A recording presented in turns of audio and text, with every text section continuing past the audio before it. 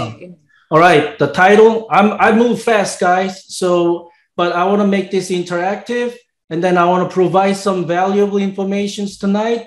Um, so that let's let's get this going. Okay. Uh, title: Three things you can do right now to increase profits in these uncertain times. So you can double, even triple your practice profits in 2022 and beyond. So what I'm going to cover today three things you need to do right now in these uncertain times. The number one thing you should never stop doing right now. The fastest way to double, even triple your profit and thrive your practice. I'm going to show you how I developed seven figure podiatry practice working only four days a week, seeing 10 to 15 patients a day. Let me pull the chat. Does that sound exciting? If it's exciting, please type seven in the chat box. If I can show you the way you can develop seven plus, seven figure plus practice working four days a week, give me seven. Give me seven. Good, good, Howard. Zahid, Ra- awesome. Oh, one doctor put like 10 consecutive sevens. That's amazing. All right, let's let's get going. So who am I?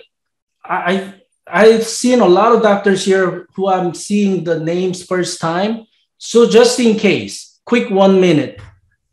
I'm not gonna read it. So please read it. You know, I'm I'm a like proficient and expert in MIS, fellow associate professor in AAFAS, which I'm going to speak in June, assistant surgical instructor in Seoul, teaching MIS uh, for four years, and then after COVID, we haven't done it. And I'm a CEO of my consulting uh, business since 2016. And I wrote a book, Opt Out How to Opt Out of Insurance Plans and Take Back Financial Control of Your Private Practice. You can find it in Amazon, but don't buy anything. If you stay until the end, we'll give you a special link. You can get this book for free. Okay. So I've been, you know, in different conferences, conferences, conferences, labs, this is my own lab that I started organizing since 2018 for minimally invasive surgery at OLC. Who's been to OLC in Rosemont, Illinois, by the way? I'm just curious. If you ever been to that first class cadaver lab venue in Rosemont, Illinois, AAOS headquarter building, that's where I host um, these uh, events there every year. You guys uh, never been to this lab? If you ever been in this lab, please type yes. No? Wow. No, yes. So this is uh, like not yet. Okay. Oh, you're coming in uh, July, Howard? I think I've seen your name. Awesome. Steph, Stefan. Cool. Cool. There you go, JB. All right. So I did it 2019. 2020. Oh, this is 2022, which is coming in July 15 and 16 this year. It's sold out, guys. I sold it, sold out in 45 days, but um, I might have a few tickets left. But again, uh, stay till, till the end of the webinar, then I might give you a link if you still want to attend this uh, webinar, I mean, the live event, in-person event. Okay, let's dive in. So three things you need to do right now as a podiatrist in these uncertain times. Number one, marketing. Marketing. Uh, no surprise, maybe surprise to some of you, but the number one thing you should never stop doing, even right now, is marketing. Marketing, in fact, you should increase it, increase this right now. Social media platforms is cheaper to advertise compared to the traditional platform. You should you already know kind of this, right? Facebook, uh, Instagram, now even TikTok. What type of marketing you can do right now? So I'll give you actual specific examples. Three types of marketing you should do, right? Branding, lead generation marketing. You guys might want to take notes and reputation management and social proof. So there's a difference. Branding, it's more of image, right? On top of your potential patient's mind when they think about foot and ankle, when they think about their own problems or their family, friends' problems, who they can think of. In order for you to achieve that, you need to focus on the branding side of marketing. So video views, specifically that's for Facebook here. But if you can see uh, video view marketing is very cheap. So this one, if you can see cost for results for video views that I'm running for my practice and doctors I'm working with, average cost per result for potential patients to watch your videos, meaning when they scroll through their social media on the phone and then they stop and then watch your video, that's um, basically where it counts as a video view. Cost per lead for video view, no, I'm sorry, cost per lead is $10.31. But if you look at the cost per video view through place, only two cents. So imagine if you have, I don't know, $1, you'll have 50 views, right? If you have $10, you'll have 500 views. If you have a $100, if you spend $100 a month, that'll be 5,000 views. So you see how it works? Branding is cheaper if you know how to utilize Facebook video view campaign. Lead generation marketing, in other words, it's very different. Um, you're targeting, you're targeting audience. You're utilizing the big data of Facebook. If I focus on Facebook right now, and some of you already know, but Facebook owns Instagram. So if you utilize Facebook marketing, then you can actually target Instagram viewers as well, usually slightly younger generation. And I haven't really, you know, messed with TikTok yet, to be honest. I have a plenty of leads coming from Facebook and um, uh, Instagram, right? So you need to learn the concept of funnel. Imagine visualize funnel. Like when you look at the funnel, it's got wide, you know, the mouth, right? And then the toward down, it's like very narrow tip. So you're pouring the abundance leads, abundance, abundance of lead, abundant leads around your region. You're gonna do geo targeting, right? You can do gender, age. Uh, you can do income. You can you can narrow your audience, target audience, and then funnel them into your funnel, and then get them nurtured, getting them to like it, like you, uh, trust you, know you, like you, trust you, like KLT, right? And then getting them into your funnel, and you get their contact information through HIPAA compliant landing you know, landing funnel, uh, marketing funnel. And then what you need to do now, you have their contact information, which is your asset. So you can nurture them and you can really communicate with them so that they become your patient. That's a lead generation marketing. It's different from branding. So again, retargeting, I already mentioned. I'm not going to go into too much detail. Just make sure you have to do HIPAA compliance marketing because you're dealing with PHI, protected health information, so you don't want to kind of use like nonchalant marketing and kind of abuse, you know, patient information in case your uh, database gets hacked or something. So you have to follow the HIPAA compliance. Okay. Still very cheap, but it requires more in-depth training and delegation to the right type of marketing team in order for you to, again, implement lead generation marketing. Reputation management, I mean, no surprise, you need five star reviews. It doesn't cost the, the good thing about this, it doesn't cost a dime to social media platform. You can achieve and you can um, gather the many, many five star reviews if you know the way to attract and gather your, your review. So I call it uh, patient focused marketing. Patient focused marketing, meaning it doesn't matter how good you are. It doesn't matter what kind of board certification you have. That's all doctor's ego and doctor's pride. Uh, don't get me wrong, doc. I mean, you know, it takes years of expertise and experience to get you where you are. But when it comes to patients, they don't care. They want to see if you can fix their problem. So that kind of helps you uh, copywriting and angles of your marketing, you want to focus on patient in order to attract them through social media or YouTube. By the way, YouTube is not social media. So I'll tell you right now, YouTube is search marketing. Social media marketing and search marketing is different. YouTube patient actually search for their keywords and their problems. So YouTube is very powerful. I'm definitely bullish on YouTube this year and beyond. Social media has its own place, but YouTube is completely different animal. So anyway, you can build the authority of your expertise through rep- reputation management. Uh, by doing so, patient focused marketing, right? So it doesn't matter how good you are, but patients will talk about how good you are. And other potential patients will watch other patients talking about your practice and your services that's much more trustable.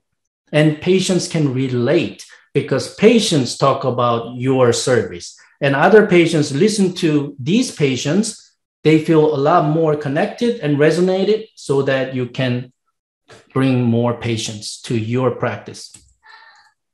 So patient focused marketing is more connection more trust more new patients. Cool? All right. So again testimonial videos videos are very powerful. And you know there's it, it is art and science to create converting testimonial. I'm big on conversion now marketing this is a little bit off tangent but marketing is to generate leads but you need to learn conversion so that your marketing leads become patients so there's a like fine line you have to bridge that gap from patient leads to converted patients Anyways, patient testimonial videos, powerful to convert. Okay.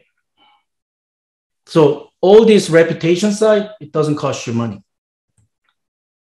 Now, number two. So number one is marketing. You never stop doing. Number two, learn and improve your skills. Perfect time to develop. Cool. Perfect time to develop and improve in these uncertain times it can make you and your practice unique. You see where I'm getting into. It's a niche, right? So I highly advise for you to learn this skill set right now. And Sarah and Anne already introduced me um, where my niche is. So this is no surprise, but that's okay. So this is the best one, I believe, because it not only proved to my own practice when I converted and transformed my practice in 2014, I helped so many other podiatrists convert and transform their practice to seven figure. So many of them. So this is the best one, which is high demand, proven to be effective and help many patients. Why is not okay? Lack of supply meaning high demand, lack of supply. What does that mean to you? It's a unique competitive advantage. It's a minimally invasive foot ankle surgery. Without a doubt, if you can implement even small portion of your practice, surgical practice, combining simple minimally invasive surgeries, for example, it will already take your practice to different level. And I'll prove it to you. So you'll be able to establish a powerful niche.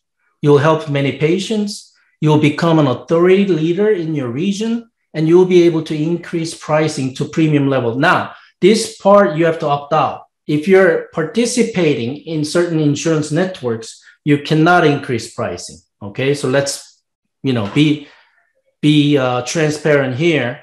And you know, I'm a man of integrity if you are participating, you cannot increase pricing. You may be able to increase RVU and argue with the insur- insurance network that you can save them so much money by doing these procedures in where I'm going to talk about number three. Okay. Cool. And even if you stay in insurance network, you still have a huge leverage because of minimally invasive surgery. So I always like to show this picture in my webinar, many webinars if you see this picture, this is pre-op. I want to see what doctors here want to do. What is your surgical planning? What is your surgical planning for this? Painful second toe, painful even third toe of right foot, fourth foot, I mean fourth digit. What is your choice of a surgical procedure to help this patient? Type it, type it away. in the chat box. I usually see certain, some answers there. I want to see some answers. It's okay. There's no right or wrong, doc. It's surgeon's discretion. I just want to see.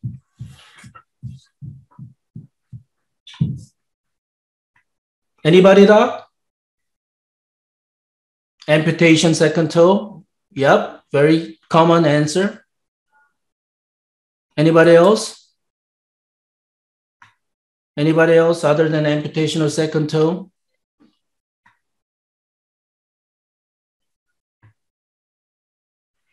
All right, well, I'll show you the post-op. Matter of fact, this patient had other toes. It was just so contracted. Oh yeah, plantar plate repair was common too. Thanks for the answer. MIS, toe, and MI. Oh, there you go. Rudolph, MIS. All right. So this is done by orthopedic surgeons in uh, South America, before and after. Learn from same mentor of mine, Dr. Stephen Isham. But look at that. Save the toe, not only save the toe, bring all the other toes straight. No fixation, immediate weight bearing, perfectly healed. So another before and after. Okay, let's move on. The rising demand. I mean, there's no surprise. It's a textbook written by orthopedic surgeon in Spain. This is considered as a Bible of MIS. Mariano de Prado. And funny thing, cool thing, it's not funny. Full cool thing is when you open this first page of this book, I mean, the cover, it will say, Dr. Mariano de Prado will say, this book is dedicated to my mentor, Dr. Stephen Isham. And Stephen Isham is a podiatrist, and he was he is my mentor. So that isn't it cool? He traveled all over the world and then taught a lot of orthopedic surgeons of MIS when when MIS was kind of looked down upon in United States. That's why I never knew about MIS when I graduated in 2001, practicing traditional open surgeries for 10 years. And later I found out about MIS anyways, there are a lot of articles published, hundreds of hundreds of published articles in medical journal uh, about effectiveness, equally effectiveness uh, to compare to traditional open procedures. So if you focus, you'll find all this evidence. It's not someone. Some people kind of argue, "Oh, MIS is not evidence based," which is not true there's a lot of studies done already. So I'm just showing you pull several several articles, but there's hundreds of them. Okay, and then articles. If you notice, almost every edition nowadays, past three four years, you'll see some kind of MIS procedures in medical, uh, you know, journal. So you can see 2018, MIS DMDO, American Orthopedic Ankle Society, MIS calcaneal sliding osteotomy. Here we go. Since 2018, orthopedic foot and ankle surgeons in United States soil, they're doing cadaver labs on MIS. Dr. Mark Myerson, very uh, well-known MIS orthopedic foot and ankle surgeons. But you can see MIS bunion, MIS calcaneal osteotomy, MIS arthroscopic, MIS this and that, right? Okay. And this is even their lecture that you can see the screen right there. That's uh, what we use Isham Burr for lesser metatarsal osteotomy slide. And actually, in fact, this, this slide is from that textbook, Mariano de Prado um, even our community now, you know, APMA and and this was, I think it was APMA, right? No, Georgia, Georgia uh, GPMA summit, and I was invited to speak about MIS. Right there, here, you see that introduction of MIS. Twin City, uh, Minnesota conference last year. I was invited to speak about MIS, and I'm going there this year again. This is their program, MIS Bunion. So demand is there. Market trend, value-based healthcare. Insurance networks prefer office-based surgery. Patients are aware of MIS now. So if you can see this one, I'm sure you've seen this graph before. Before it was fee, uh, fee for service, right? But now time goes and we're like right around here now. Fee for service is almost non existent now because the value based reimbursement, meaning if you perform minimally, um, no, I'm sorry, if you perform free ankle surgery at the hospital, for example, 90 day global period, and you get like what? How much do you guys in, we get reimbursed if you perform bunion surgery at the hospital right now? In Illinois, here is like $500. Ridiculous.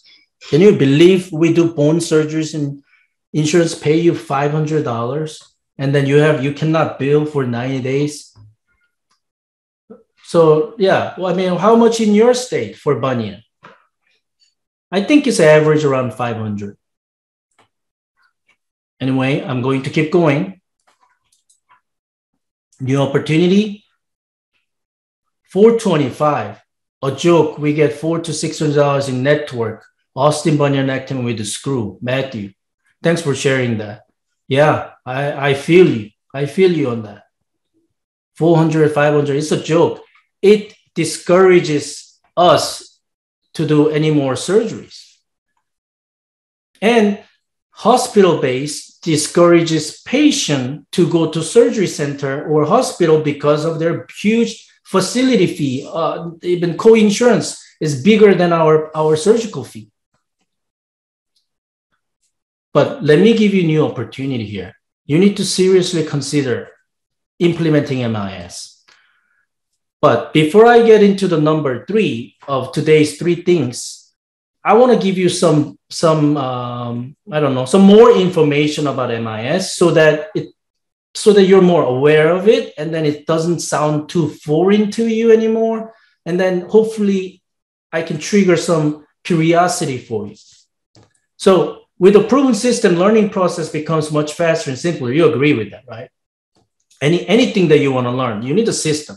But anyways, fundamentals of MIS number one, hand positions and motions. You just need to know two ways. It might be too simple. I'd say one, pencil grip, and two, golf club grip. I call it pencil grip, golf club grip. So pencil grip, that's how you hold this uh, special MIS drill set to make bone cuts. And this is golf, cl- golf club grip. This is how you can apply some more pressure to reduce like medial bony eminence in this case. And four key steps in every single MIS procedures. So here's the system, right? Four key steps. Oh, thank you for someone just give me, send me a nice thumb. I didn't know that, like thumbs up, thumbs up icon pops up. Number one, makes an incision. Number two, create a portal. Number three, come on, come on, webinar. It doesn't, okay, sorry about that. It doesn't pop to the next one. Do the work, meaning tenotomy for soft tissue or capsulotomy or bone work, reducing the bump or osteotomy, and then post-op dressing and splinting. Incision, portal, do the work, dressing. That number four, though, post-op dressing is very important if you do non-fixating internally non-fixating osteotomies. Post-op dressing and splinting is our way of external dressing and splinting to fixate that osteotomy. Um, there's a lot involved. Okay, there's definitely um, learning curve. I, I, I wouldn't, you know, disagree, but we can shorten that learning curve. So make an incision. Here's the incision site. Okay. Yeah, I'm seeing some questions. I'll answer those questions. An incision that's typical Reverdin-Isham bunionectomy incision. This is one of my go-to bunion procedure. I learned directly from my mentor Isham. Um, extensor tenotomy incision, digital cone procedure incision. I'm just proving the point. Number one, right? Step one, make an incision. Number two, create a portal. Meaning through the incision to the bone, and you need to create portal, you know, move the soft tissue away, periosteal tissue away, capsule away. So you're prepping the area where you're going to do osteotomy. By the way, a lot of doctors tell me, oh, TJ, you're doing blind. I'm not performing any MIS procedures blind. Okay, it's, uh, it's a common myth. We know exactly where you are cutting. I'm cutting. There are many ways to develop that sensation. So your hands you know other things other other um, sensations right? Other than relying on your vision there are many ways to know exactly where the burr tip is. So we're not cutting any bone blind.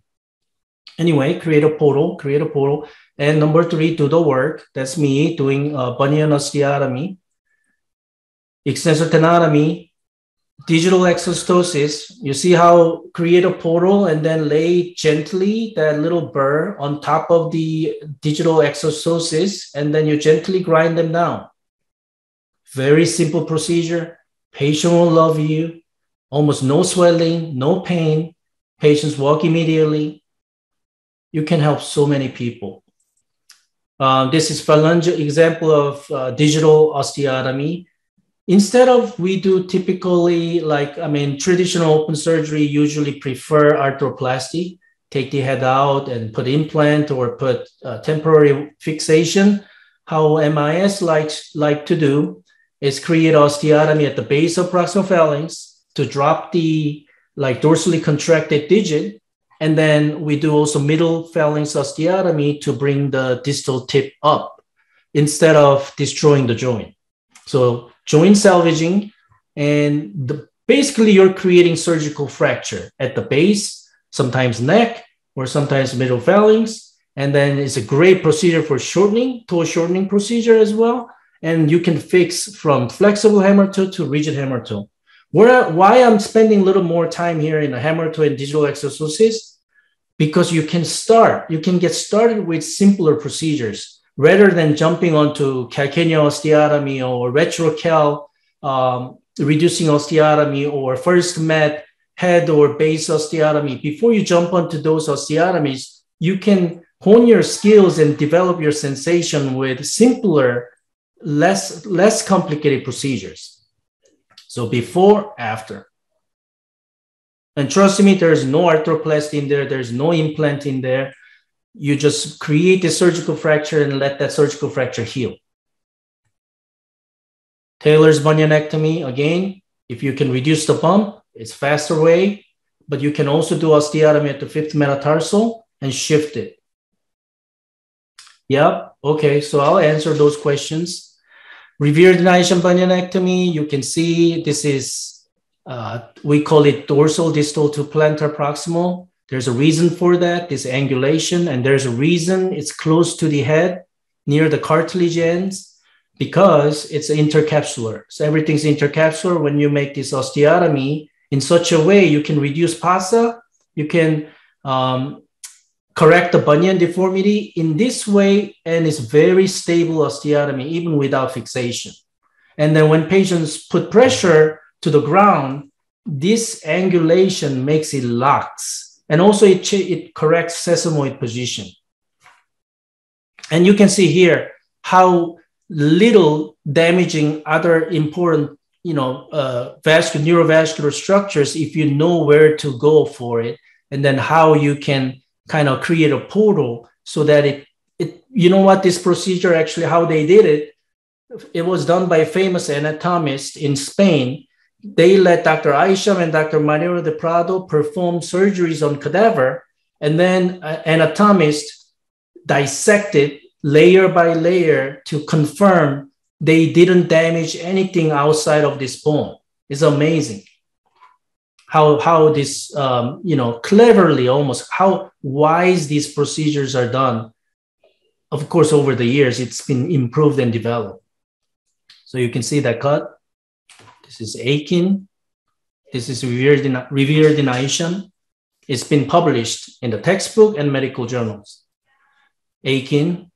And this is my procedure here. You can see I uh, made a, you know, make a head osteotomy and shift it. And then here's a Akin. This is before dressing. And here's the uh, second hammer toe to drop the hammer to deformity. Uh, another one before and after you see there's no screw. I have not ever seen non-union. A lot of doctors worry about non-union. I have not seen non-union, and I asked MIS experts around the world. They say 0.001%. They almost almost every anybody I speak to, they never seen non-union. Uh, in the premise of if you do the right technique, right? If you burn the bone, if you speed up the Osada drill too fast, um, yeah, obviously, then you you might be able to you know sacrifice some bone tissue and delay the union. Yes, you might be able to see. That's where I'm getting it. If you speed up too much and burn the bones, then you might see a delayed union, but never see non-union. Before and after. That was inside. Yeah, when traditional open surgeon like me, I was traditional open surgeon. It made me uncomfortable to see some like x-rays like this, but I included this x-ray on purpose because this is outside and this is inside. I mean, it could be like better looking, but guess what? Patient don't care. Patient loves me and my practice and MIS procedures because this patient particularly on the other foot was done traditionally.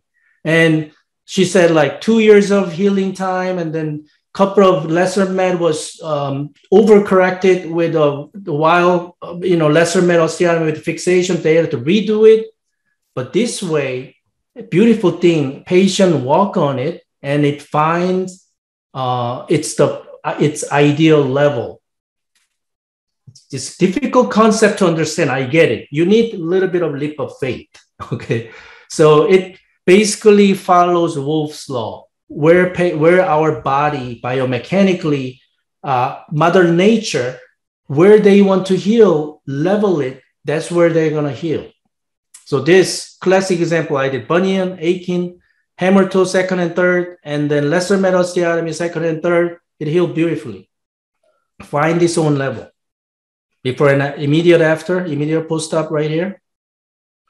What did I do? Bunion, Akin, second hammer toe, and fifth med uh, shifting osteotomy.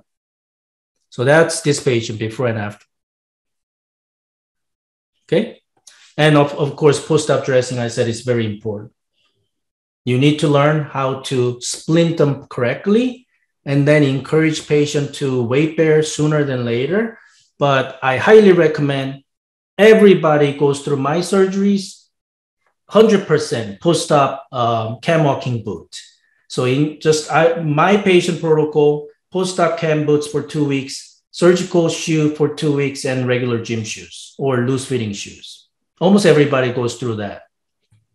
So before and after, some pictures of post-op dressing and splinting. Okay, number three. So uh, no, what is number one? Marketing. Number two, MIS as your skill set if you consider, right? Number three, office space surgery. That's the key. That's going to be huge differentiating point. Insurance benefit prefers, insurance companies prefers. My screen is not viewable. One doctor said, is that true, Sarah or Anne? Can you guys see it? Uh, yeah, I can still see it. So mm-hmm. I'm. Yeah, I can see too. Cool. All right, Doc. I'll yeah, I'll message him here. So insurance will pay you. I put it here very conservatively. 20 to 30% more reimbursement for the exact same procedures. I'm not saying like you add some tricky fees or facility fees or trays. I'm not saying that. Apple to Apple, exact same CPT code, insurance company will automatically reward you at least 30%. I just got a letter from uh, Blue Cross Blue Shield of Illinois. I know a lot of other states got same letter from Blue Cross. They even say in that one page letter, it's amazing. Listen to this. If you perform foot and ankle procedures in your office space, we will reimburse 15% in addition to that reward you already get. Okay. But they even say that in the next sentence, However, if you perform foot and ankle procedures in the hospital, they will penalize you for 15%. Can you believe that bullshit BS? I'm sorry, I, I you know, I, I cannot help it. They even say they're gonna deduct 15% on top of that $425 reimbursement for bunion at the hospital. There you go. Yeah, crying, right? They say 15%. I wish I put that copy. I have it copy in my drive. I forgot to put it in here, but I can send you guys. If you guys want to see the evidence, I got the letter from Blue Cross. 15% more if you do it in the office, or 15% less of what you get already if you do it in the hospital. Patient benefit, convenient, comfortable. Patients see the same friendly staff. They don't have to mingle with other patients in the big facility, especially after the COVID, right? And saving of huge out of pocket costs because your patients do not have to pay co-insurance portion of facility fee, which is easily a few thousand dollars. Patients, you tell them, hey, I can perform this procedure in my office-based surgical suite. Patients, most patients already aware of their deductibles and co-insurance. Tell, uh, you know, this is throughout the United States, anywhere I've been helping doctors, 100% with my heart, your patients will jump on. Doc, when can you do it?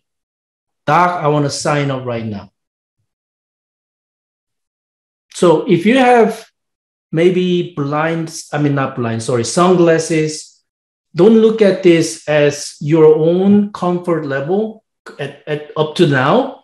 If you want to transform, you have to open your mind and then see what top 1% podiatry practice owners are doing, especially if they're a surgeon. They're all moving into office-based surgery. Okay. Your benefit, here we go. Future proof. Doesn't matter COVID. Hey, COVID, war, unfortunately, um, stock market crash, let's say real estate, you know, the bubbles are going to be burst. Doesn't matter what happens in the environment. Patients still have foot problems who want to fix. And if you can offer this type of environment, imagine it's good for patient, but it's good for you. Number three there, saves time. Imagine your opportunity cost that you're losing every day you go to hospital, waiting for your turn, drinking bitter coffee. I, I know we all have been there. You know, some doctors before you, they just got delayed or post, you know, postponed. You just sit there in the waiting room and then you come fighting through the traffic. Imagine this two, three, four hours of wasting you it's going to be total under your control if you start performing in your office so this just to prove my point why office-based surgery right here orange color that's inflation workers learning i mean earning deductible increase and look at this skyrocketing single coverage deductible you see it oh this was premium you see how tricky they are? They look like following the inflation for the premium, but look at the deductible. What does it mean? Patient portion, it's skyrocketing. So nobody wants to go to hospital. And at the same time, we don't want to go to hospital for $425 for legal liability. Forget it. So that's what insurance companies driving US healthcare. Healthcare system, let me tell you right now in this official webinar, it's broken. It's not good for patient, it's not good for doctors. So would you continue to fight that this insurance game at the hospital? Or you want to create your own fate and build profit, profitable practice, providing the healthcare your patients need. Okay, I want you to think about it a little bit, kind of sleep on this idea. Obamacare, we, we all know it's screwed up, right? Screwed up. So I'm not going to read this. Total Medicare cuts, $716 billion. So again, who's going to take this effect? Patients and us. They reduce the reimbursement to make over. You know, it's a complete failure. By the way, this is credit to Dr. Seb Reineck. So office-based surgery implementation step, you need space for our podiatric surgeries. About, you know, if you really have a small room, 10 by 10 is still doable. I prefer at least 10 by 12. Mine is 15 by 15. But I've helped a lot of doctors just convert their treatment rooms. Some in some cases, you can be creative. You can have like at the end of the room, and then in the back of it is let's say storage space. Just break the wall, and then you make it slightly bigger.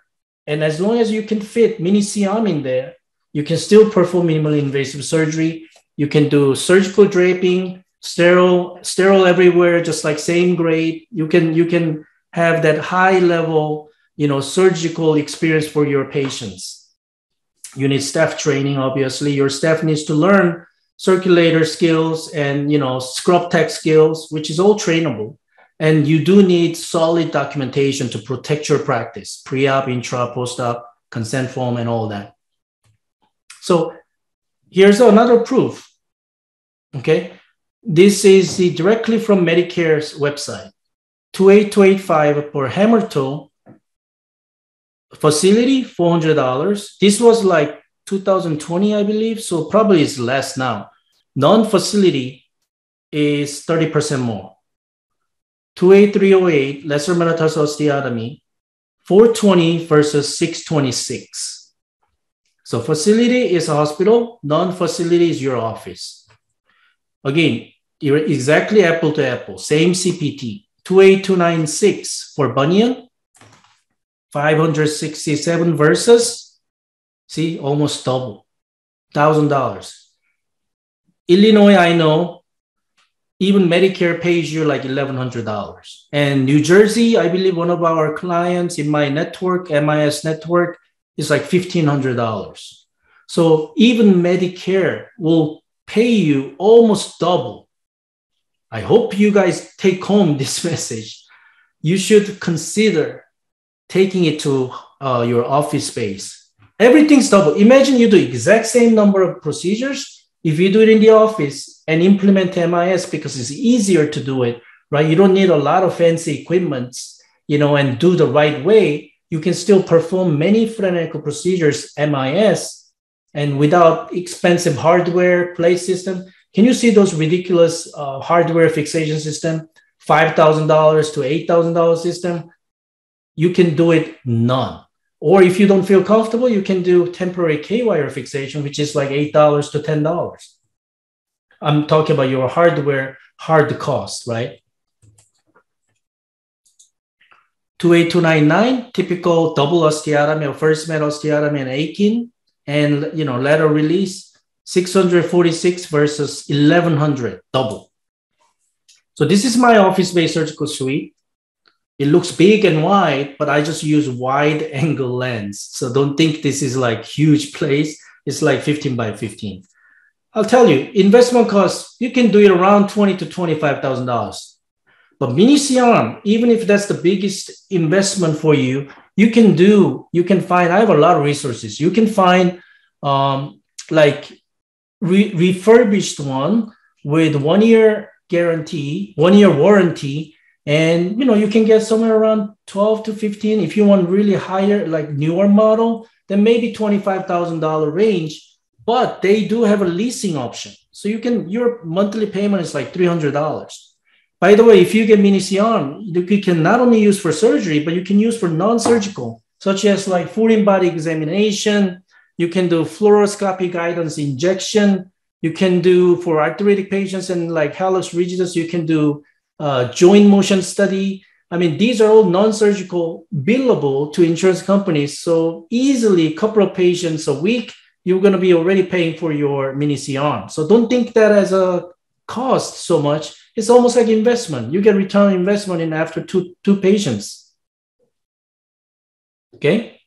So look at this return investment. Let's say like 1500 for a bunion. These are all real number if you do it in the office, right? So, and then I charge a lot higher because I opted out of most insurance plan. In my personal practice, I don't even take Medicare. I only take Blue Cross. Uh, here, in Illinois, still they reimburse decent. So that's the only insurance I take. But this is based on insurance plan. So let's say average $1,200. It's very, very conservative, very doable if you do it in the office. $1,200. Let's say you perform exostectomy, um, you know, like flexor tenotomy, capsulotomy, uh, some hammertoe procedures, maybe one bunion a week, you know, a couple of Tailor's bunion a month. I mean, it's very easy to, you know, increase numbers because it's everything's under control and systemized in your office. $12,000 in addition, additional revenue is very, very, very realistic. So $12,000 extra times, let's say 12 months, that's $144,000 a year extra. Let's say even if you work 10 months um, a year, it'll be still $120,000 extra in your practice if you start performing MIS and if you do it in your office. Make sense?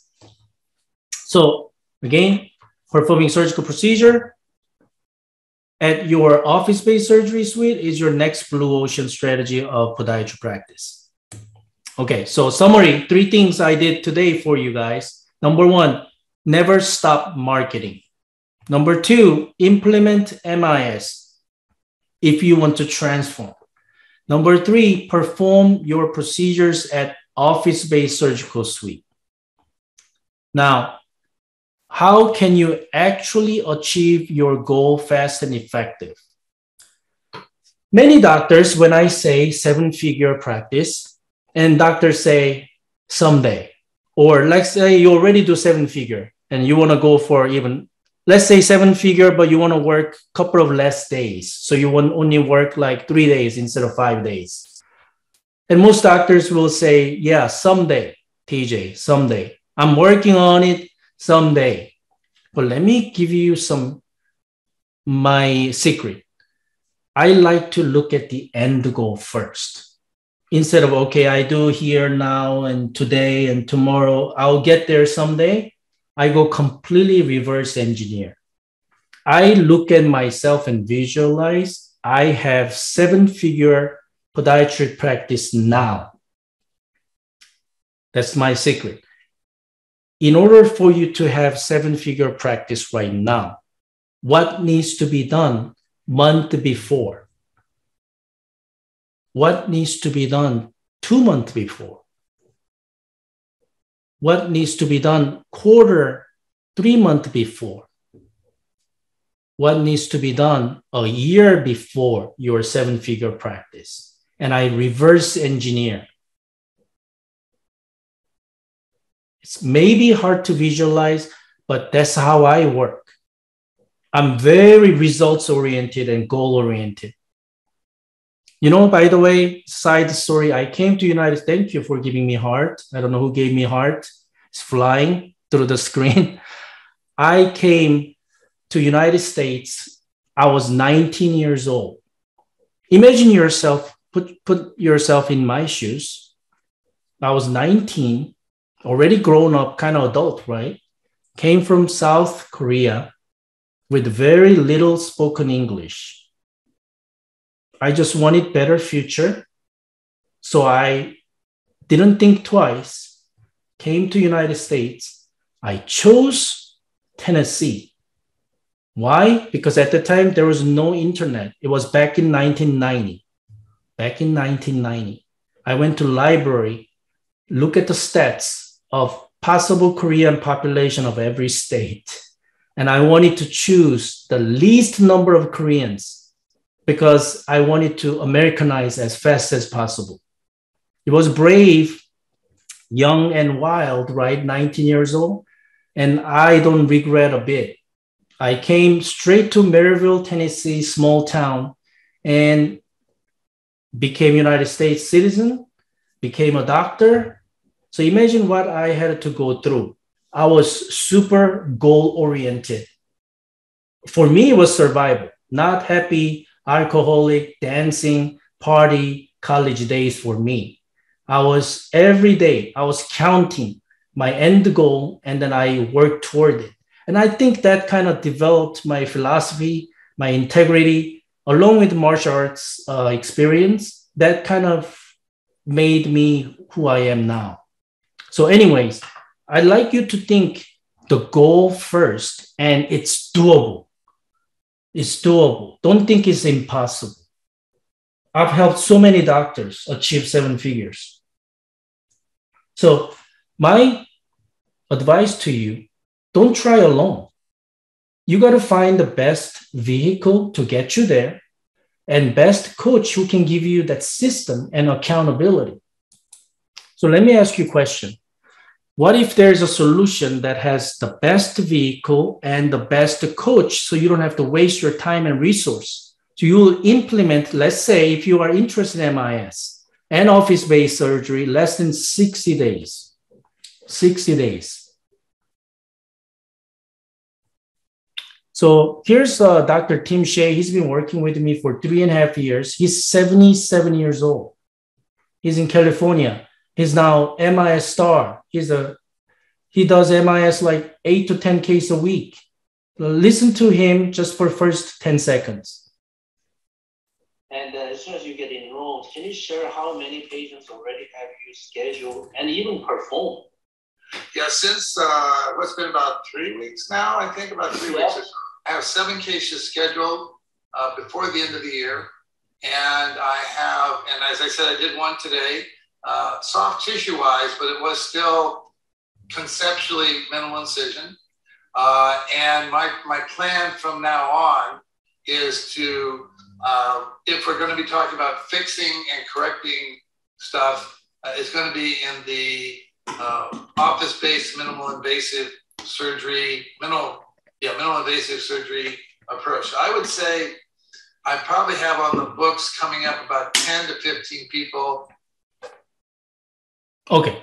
So now he's our North, I mean, I'm sorry, Western Regional Director of my program, MIFAS Elite. And he's now helping many other doctors also, and himself still practicing driven, committed, helping so many patients every week.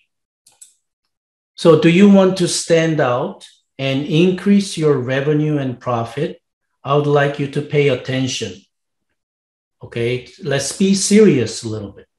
Do you want to stand out and increase your revenue and profits? I practice what I preach. I still have my practice. Disclaimer I'm not doing seven figure now. Some people say, oh, it's a bummer. I've hit seven figure many years. However, I am moving my focus and mission to help other podiatrists and colleagues. So I only work two days a week. So imagine two days a week, I still do 650 to $700,000 a year. If you do four days a week, for sure you can hit seven figure. For sure. I see. Oh, Imaze, you're here. You're in my program. You just joined. Awesome. She says, I'm building my MIS procedures as we speak. Go TJ. You made it happen. Thank you. Thank you for being. You, she joined three months ago and she's already performing MIS in the office. Perfect. Thank you. Thank you for joining this. All right. So, which area is your bottleneck? Because I'm giving you real action steps here. Is it bottleneck? Are you fearful? Are you doubtful? Are you a little bit afraid of implementing MIS in your office based surgery? Which many people are. I get it. What if I mess up? You know, I don't know the documentation. I, I don't know what to do. I don't know how to teach my staff. A lot of roadblocks, but nothing is impossible. What about you have a problem getting consistent patient lead flow to your practice consistently? What about, oh, TJ, I have no problem with leads, but I don't know how to convert my patients, especially if it's non-cover service. Nobody says yes. Whenever I think about talking about money in front of my patient, I get sick to my stomach. I cannot talk about money in front of my patients. Very common. So you might have a problem increasing your patient's acceptance to your treatment solutions. Even if you know and you believe that is the best treatment solutions, if it is non-covered service, it's very easy for us to say, well, if you don't want this and you cannot pay for it, then there's another alternative. Let's go to this route. Isn't it common?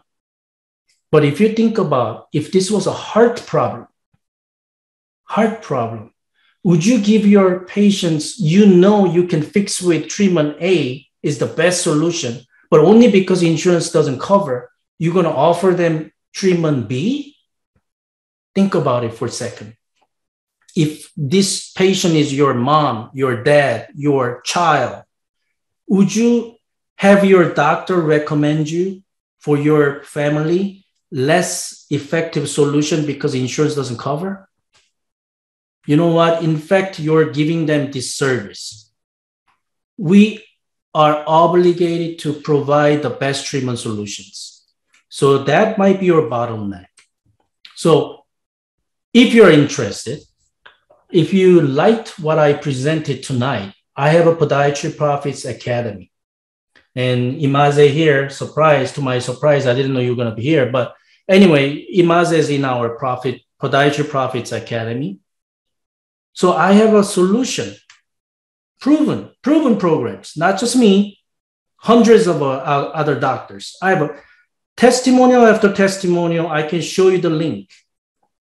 So I have three programs I can show, I can tell you MIFAS Accelerator, the Profit Alchemy, Midas Medical Marketing. So you don't have to remember the names. I'm not going to quiz you. So MIFAS Accelerator is all about MIS. You will implement MIS procedures in less than six months. Most of them start within three months. You will set up an office-based surgery suite within six months you will have all the documents and resources you need for office-based surgery and uh, minimally invasive surgery right away. You will attend my private cadaver lab to improve your MIS skills. So that's what MIFAS Accelerator provide. You will get those results. The Profit Alchemy, you will increase patient acceptance to your treatment solutions you will learn how to set up a hybrid concierge model practice. I call it hybrid concierge because you can now finally, proudly, comfortably opt out of your the, the ridiculous insurance networks at your choice. And you can proudly provide, as a non participating provider, the best treatment solutions. And this program teaches you. And you'll maximize your profits and you will craft offers that patients cannot refuse. So that's more business side, practice management side program, the Profit Alchemy. Midas Medical Marketing, you will have ever replenishing patient leads. This is all about marketing.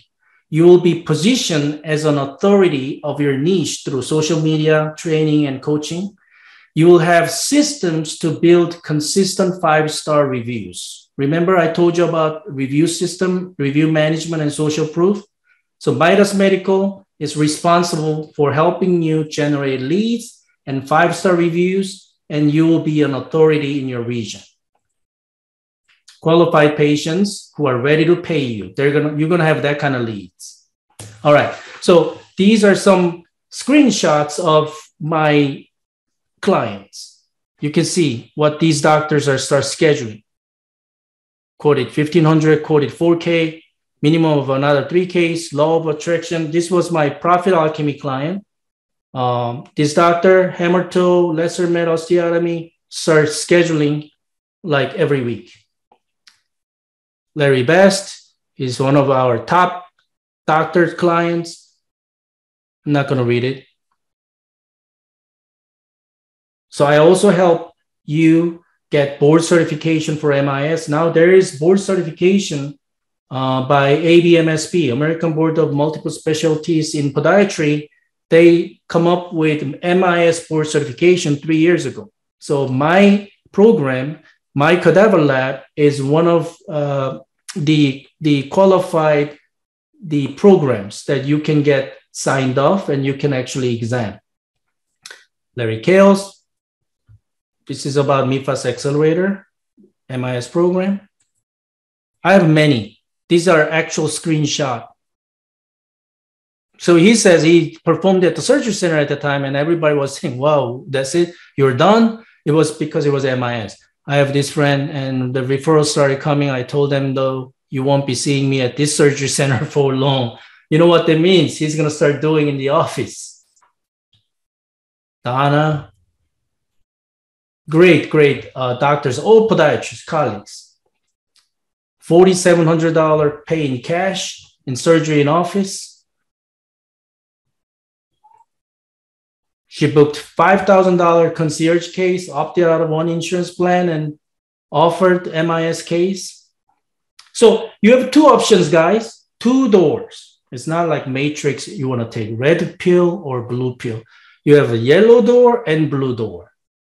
If you open yellow door, you're going to go to where you are now, what you've been doing. If you open blue door, I'll be waiting for you right behind that door. So if you choose the blue door and you're ready to make commitment to increase cash flow to 100K per month, think about it just for a minute. I'm not, okay, transparency. I'm not giving you income claim, income disclaimer right here if you work the way I suggest and advise and coach you, it is doable. If you want to increase your cash flow to 100K per month without adding more work hours. In fact, most clients I work with, they reduce days. Because if you think about it, why did you become a doctor? If you, I want you to think about it for a second. Yes, we want to help more people. I want to create a nick on this earth. But didn't you become a doctor also for providing better life for yourself and your family, to spend more quality time for your family, for your kids, their soccer practice, their dancing. How many times you miss that because you're stuck in the hospital or you're doing all those stupid billing through your EHR to not to get that Medicare audit? That's not why we became a doctor. And I want you to, after tonight, I want you to think about that. We live once, we go one way, right? It's like one way parachute. You jump on a plane, plane, you're going down to the ground. That's the end of our life in this earth. Where you are right now, and would you end your life or your career that way? There's another way. I just want you to open your eyes and ears. There is a light at the end of the tunnel, which is, I'm telling you from my bottom of my heart, which is proven pathway, proven pathway, shortcut. Anyway, if you want that blue door, let's talk. So here's my offer, guys. In the next five days, I'm going to have some time slots open for you. There's no obligation. I'm not telling you to pay for this, just 15 minute like phone call or Zoom meeting with me or my team, most likely me. I want to meet you over Zoom just for 15 minutes and I want to see where you are and if any of my program and my idea that I presented to you if you have any interest to see the possibility. So here's the here's the uh, link, okay? I'm gonna type it patiently, drtjon.com. Maybe Sarah, if you can type this a few times for me, I would appreciate it. Absolutely. Yeah, we gotta change it to everyone, right? Yeah, can you do that for me? So Sure, thank you. Sarah's gonna type the link. Remember, you look at the end goal first and then you reverse engineer, right? But this, I'm telling you, first step you need to do if you want to change, book a call. 15 minutes, that's all I want, ask you. And then let me see if you are a right fit. Let me see which one is your bottleneck If I cannot provide you solution, I'm not interested in holding you any for any reason. I'll find the direction, better person or better program for you. Because I'm busy, guys. I'm busy enough. I work two days a week. I go to seminars. I run these three programs. I go to, I also have mastermind group. We have almost 20 mastermind members. I help them. We meet them every week. The MIS accelerator, we meet every Thursday night. We go over cases. I have a profit alchemy. So imagine my life. I love working and my mission is to help you guys now. So I just set next five days for you and I'm not asking you to pay for anything. All I'm asking you, let's talk.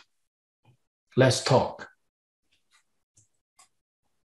Okay, so again, go to this link. That's the first step. Book a free discovery session call with me, and then we'll diagnose your situation and we'll help you find out if my model will work for you. So, what's holding you back? You want to go back to where you are currently and keep struggling alone? I'm my programs are not about programs. My programs, guys, is a community, collegiality. Is that a word? Collegiality. Yes. Is there a word? Okay. Yes. Camaraderie. That's what I- Camaraderie? yeah, yeah, camaraderie. you know, I love to create a group of community. You will never see this type of community. That's what every single person says. A lot of people think podiatrists what eat when you're young or something like that. In my program and my community, it's completely opposite. I take that huge pride that we have very strong community community supportive community. Um, and can yeah, okay, you already did it. HTTPS, so it's clickable. So if you guys click the link, I want to see some actions, right? If you want to, we'll talk. This is about you, your practice, not me. I already accomplished for my own, right? But this is about you. We live once. I want you to take home with that message. What do you want to be remembered? What do you want to remember? Your own career, your self significance, your status quo? Doctors. I mean, you guys are my colleagues.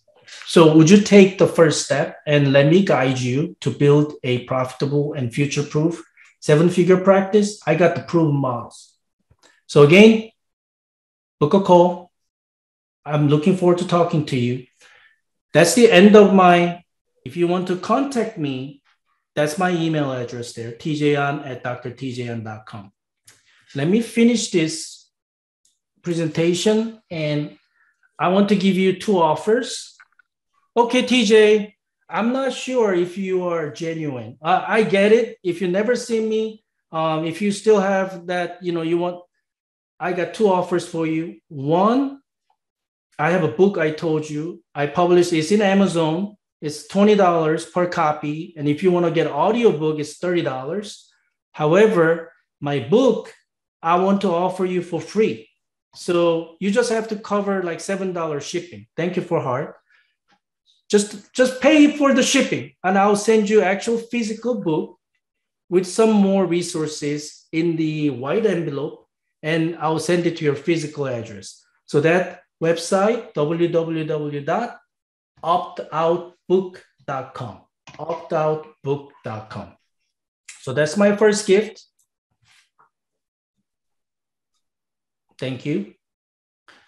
Second gift, I have about three tickets left for my upcoming July International MIFAS 2022 event. And that event is already sold out. But like I said, I have about three spots left. Oh, PM. Okay. Well, here you're going to love it. Early bird special was done last weekend. However, just for webinar attendees, I'm going to honor you early bird rate, three tickets left. It's www.imifas2022.com. So you got to put www first for some reason. There we go. imifas2022.com. So those are my two gifts just for being for you guys being here. You can get the free book or you can get the early bird special for our world class International MIFAS Cadaver Lab Conference. It's a CE accredited. You'll get 12.75. That's last time I counted. Two day intensive, one day lecture, one day full day cadaver. Each person will get cadaver leg on your own so you can actually practice. It's a first class venue, breakfast, lunch included. And then in the first day morning, I'm going to have a very special State of Union for podiatrists uh, special master class for the attendees. That one's not CE, but you're going to learn a lot, I hope. And we're going to have a great time. Meet each other in person. All right, that's it for me. I still got so much energy, but you know, I, I was going to say, do you do you have time for any Q and A, Dr. Ahn, or do you of have course, to? Yeah, of course. I, am here for everybody. Awesome. So yeah, so um, we don't have any questions coming in at the moment, but I just want to give everybody a little bit of time to do so. But I'll kind of get us um, started. There's a we talked about a lot. Well, we I say we like I did nothing. You talked a lot about you did a, oh, yeah. a lot of talking this evening. Um, so as you know, I am all on board for niche practice, whatever, whatever your company is. Obviously, everyone online is a DPM. So niche practice, niche practice, niche practice. When you first went niche, um, I guess what was the shift? Because I when I talk to DPMs about this, there is a fear that they will pigeonhole themselves and lose specific patients. What do you say to DPMs who kind of have that um, caution? Oh, say it again. What was the question? When so, if you are recommending a practice to go niche, if they're going to niche in w- whether it be minimally invasive surgery or maybe they um, are really only niching in seeing diabetic patients. Sure. If they're nervous about like pigeonholing themselves, where they feel like, well, if I put all of my marketing dollars and just telling everyone that I'm the bunion king, I'm not going to get any of these types of patients, or I'm not going to get almost like they are nervous that the um, I understand now. Yeah, right. Yeah, that's a common fear. So what I call it, generalist versus specialist. You have to become a subspecialist of specialist. Just being a podiatrist is not competitive enough and it's not profitable enough.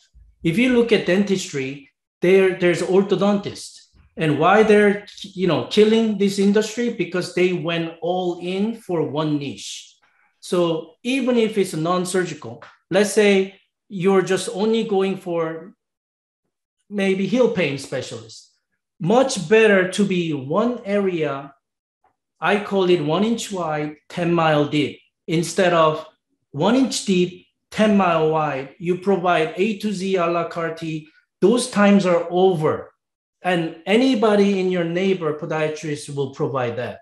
But how many will be so strong in one or two area that you become really expert and then you start marketing? Patients, patients respect that. And but premise of once you decide your niche, you have to be truly good at it. And number two, you have to be able to defend it like hell. I tell my clients every time you choose your niche to MIS, you better be good at it. You better provide the best surgery that you can do and defend it in case someone, whatever, backfires at you. So that's why I provide a lot of documentation, resources, and equip you physically, mentally, and you know that these procedures are the best treatment options for this patient. So those are important factors. I really think um, if you have a fear in niche, like deciding niche instead of doing everything. Right, absolutely. Well, and I love what you said about being really you. Ha- if you once you decide, you have to be really good at. it. And I always um, lecture that it's brand promise. That is brand promise. I promised you that I'm going, this is what I do. And when you show up, you're going to see, I'm going to deliver on that expectation for sure. Yeah, by the way, Apple, if you guys know Apple, before Steve Jobs came back, because they fired, right? Apple was founded by Steve Jobs, but he got fired by his own employees, right? But then when they rebring, when they bring Steve Jobs back, they were doing horrible. Why? Because they're going over everywhere. And then when Steve Jobs came back to Apple, first thing he did, he slashed 80% of their product line. And then he just went for what they were known for, Mac. And then now look at the Apple. Ben Hogan, if you think about Ben Hogan, or uh, maybe some young guys don't know who Ben Hogan is, Jack Nicklaus, do you picture him doing basketball practice? you know, but there we go. Thank you. Can you say anything about golf in front of Ben Hogan or Jack Nicklaus? No, you can't because they've proven it. They walk the path. They're the top of the mountain. So when you claim your niche, no matter what it is, I want you to be good at it, really go deeper, and then defend it. Yeah, so we had a bunch of questions kind of roll in while you were talking. Uh, there was a few that came in that were specific to cases. Mm-hmm. Um, and you know so i imagine that's something that you probably would rather talk one-on-one with attendees about let me see there was some um, do you do a lateral adductor release with yeah. mis yeah i do doc i mean mis way 64 blade going to the joint uh, first mtpj and then you go into out sometimes you get some bleeder it's common but you know, if you know how to do it, and I always like to combine with Reverdin-Isham or maybe silver Akin ostia, I mean silver Akin type of simpler bunion. I still like to do uh, lateral release. Most of the times it can correct some PASA. Um, but yeah, I most MIS, I mean MIS first ray procedures, I do lateral release. And then there was another one, uh, MIS for midfoot exostosis versus the open technique. Yeah, oh, doc, MIS midfoot. I mean, we call it out to in versus in to out. Instead of because midfoot, there's a lot of tendon attachment and etc. If you learn, it's slightly more advanced, but if you go inside of bone, inside first, and then you create like gentle osteotomy inside, creating void space, and then let the outer structure that causes ulcer or midfoot collapse or, or exostosis, you can let them kind of sink in because you create a void inside.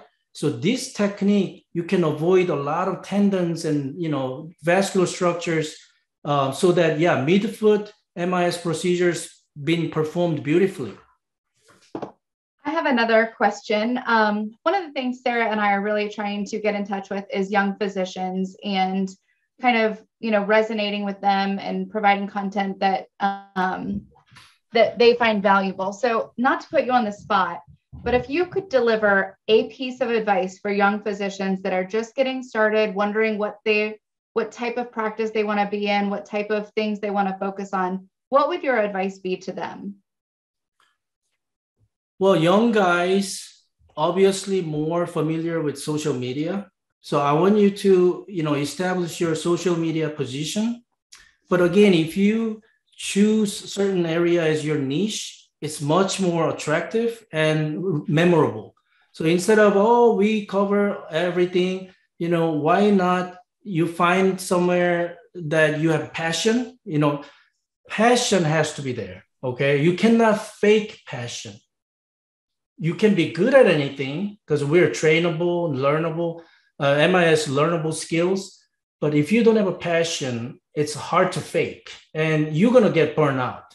But if you have a passion in it, you don't you don't get burned out easily, and you can be. Um, I think you can be very successful, and also young physicians. I'm not recommending you to go complete cold cash only practice concierge model yet reason is because still through insurance plans you'll learn the dynamics of healthcare system you can still provide Medicare patients and geriatric patients and, you know, gaining some experience.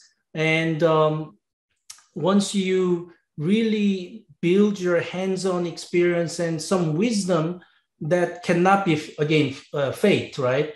The the ex- wisdom through experience i we cannot fake it. You know when i work with you know doctors like tim shea he's 77 robert parker he's in our mastermind he's uh, 80 years old and he's still practicing every day. And you know i mean the wisdom these guys get and they provide to our members in our thursday meetings is amazing. So before you build that wisdom, young guys, you need to build some experience. So I'd recommend participate some insurance plans and then you know maybe start finding where you have most passion and then start learning deeper. And then again don't be a foreigner to social media. You can just be good at it practice it every day in instagram and facebook and also build youtube channel I mean, I'm big bullish on YouTube channel. I have a YouTube channel. If you guys interested in learning more about what I provide to colleagues, I have a YouTube channel too. So yeah, that's what I recommend. Is that too long answer for a short question? No, I and I think that's great too because I mean, I know, you know, my background is marketing and when I started marketing, I didn't I didn't graduate and be like, you know what, I want to do marketing for podiatry. like that was not on my radar at all. And it's kind of one of those things where you experiment with a lot of things. You, I always say, say yes until you can afford to say no, um, and get your hands dirty with a lot of different things because you don't know what you don't know. I had, I didn't even know that this industry existed when I first went. I, I started in healthcare marketing as well, and podiatry was just not on my radar. And I fell into marketing for an orthotics lab. And, you know, 10 years later, 12 years later, here I am. And it's just, it's one of those things where, yeah, you just have to try a lot and then you kind of discover it's like, you know, you want to be a podiatrist, just like I know I want to do marketing. I didn't know I want to do this specific type of marketing. You don't know if you want to do this specific type of podiatry. And so I think it's very interesting that you kind of, I mean, it's a bummer that you know had I known that I could niche in this several years ago, that would have been great. But you don't know till you know. Yeah, yeah, totally. I mean, marketing guys, any industry, if you want to develop the branding and lead generation marketing, um, and the authority, build authority, um, you know, there are this deep. Marketing is deep. I love marketing. Um, and you know more you learn there's so many factors and pillars inside of marketing. So i'm not pretending you know i know everything. I'm learning every day. I still belong to two mastermind nothing to do with podiatry. One is sales mastermind and one is marketing mastermind.